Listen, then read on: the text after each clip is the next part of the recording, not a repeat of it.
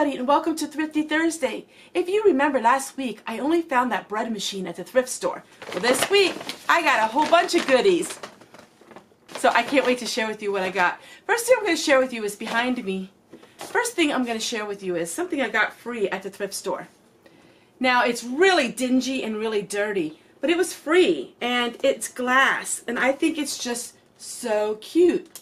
So, I'm going to share with you what I'm going to do with it. I'm not sure exactly where I'm going to put it, but I'll share with you how I'm going to clean this up and turn it into something really cute. And it was free. You can't go wrong with free. This is the first thing I got. It was 50 cents and it's a canister. It's almost like paper. I'm sure at one time it wasn't very cheap. But I'm going to use it to put some of my herbs in. And I actually have the herbs in a basket behind me that I'm going to work on today. The lid is actually really snug and tight. So this is what it looks like. So that is what I'm going to be working on here in just a moment. Then I got this dress for $1.50. And it's a little high price, I know, but I have an idea what I want to do with it. As a lot of you know, when I was adopted, I didn't have any clothes that came with me and how my mom sewed some dresses. I'm going to also display them as well. So I thought this was just really, really cute. All right, so they had all of their material half off, and I got all of this for 50 cents. Yes, yes, yes, we know what I'm going to do with it. But I thought how adorable for fall, and 50 cents for all of this material. So some of it I will use for my bowl covers, and some of it I will use for some things that I'm going to work on. But I thought it was adorable. Those of you that sew can understand, it's a 26 by 44 and it's two pieces of it. And it was half off so it was 50 cents. So that I'm really really happy about. I'm happy about everything. Okay so I'm gotta show you what I have here because we wrapped this up in this. So also I got one of these and I paid a dollar for it I think I paid a dollar for it. And this I'm going to use not as a pillowcase, but I'm going to use this for something with my cooking in my kitchen. You'll see after a little while what I'm going to work on with it. But I thought it was really cute for a dollar. And it's vintage looking and it's something that I think is going to go great with what I'm working on. And this for a dollar. Now I know last week I said that a dear sweet subscriber gave me some of these, but I got this for a dollar because look how old it is. Vintage! Woohoo! Vintage. Very old. This is very old um, labeling. And I might just keep it like this, at least not use it right away. Because that is really neat. Get. So it's really neat. I love I love old labels. I love old labels. All right. Last but not least, I was really excited as you know, we had a candle making video, and that was on Tuesday. I hope you didn't miss it because it's really neat. But I got all of these for 35 cents each, and they say love on them. I'm going to turn these into candles. So I got six of them for 35 cents each. That I think is amazing because I have really neat lids I'm going to use with them. So all six of these for 35 cents each. Usually their glass is so cheap. So, and this is the heavy mason jar. Now you can't can in it. It says not for canning, but I'm sure that I, it will withstand the hot wax.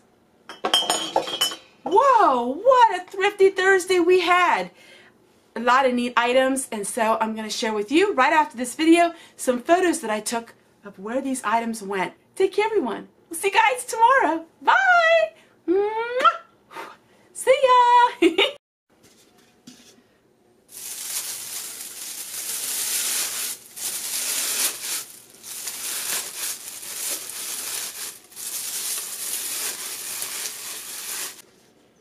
Mmm, lemon verbena. This is going to go into some of my homemade lye soap coming up here in just about a month. Ah, the smell of lemon verbena and in a nice little canister like this. I love it. So my friends, you're wondering what all these different kinds of soaps are? they're vintage anywhere from 1929 to 1956. Wow, you're just going to have to wait till next week. We have a lot going on in the series of old-fashioned living. That's the pillowcase. What are soap berries? Oh my goodness, so many wonderful things. I can't wait to share with you. But the pillowcase is there and I'm going to use that as a draining board when I wash my dishes. I bet nobody has an idea what I'm using this for. In the kitchen, I am putting all of my essential oils. So these are my kitchen essential oils. I'm going to put them in here all at one place so you know what I have. How cool is that?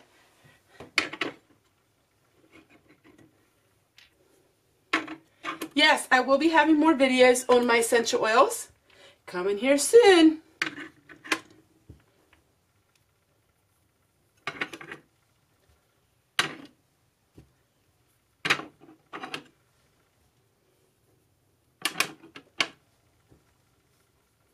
And there you go. It's all finished.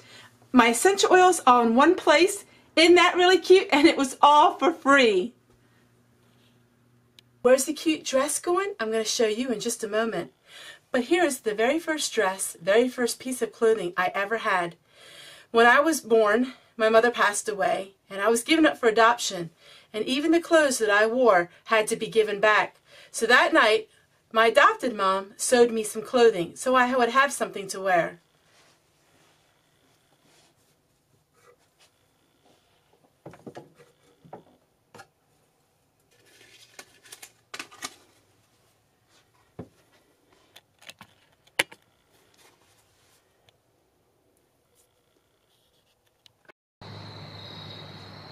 So it's evening time and I wanted to share with you one way that I'm creating peace outside, and that is through solar lights.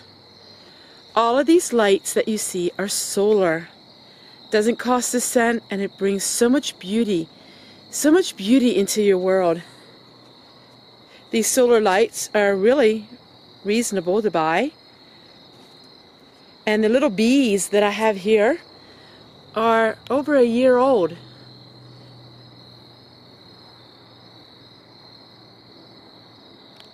So I add solar lights to almost everything that I have. It just brings so much joy and it just looks so pretty.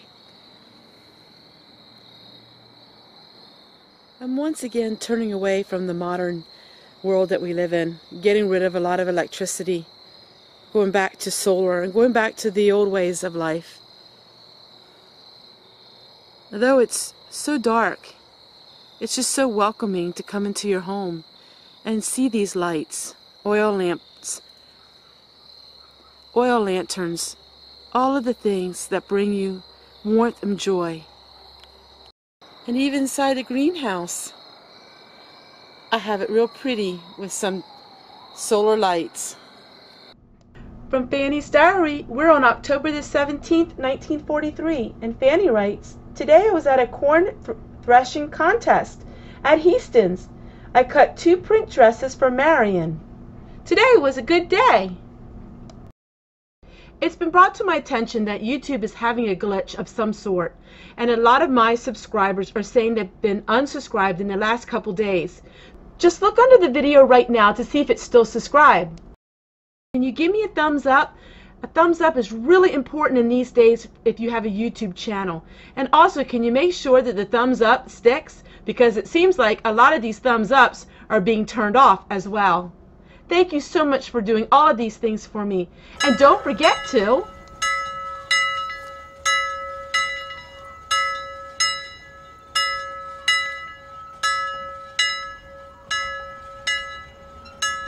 click on the notification bell. That lets YouTube know that you really like my videos and that way my videos get shared even more. Thanks so much for helping me out in such a tangible way. It's paper. It's like wooden slash paper. I'm going to use this to store my herbs, which I'm going to work on here in just a moment.